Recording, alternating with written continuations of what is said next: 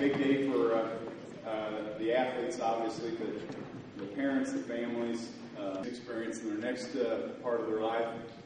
Uh, how today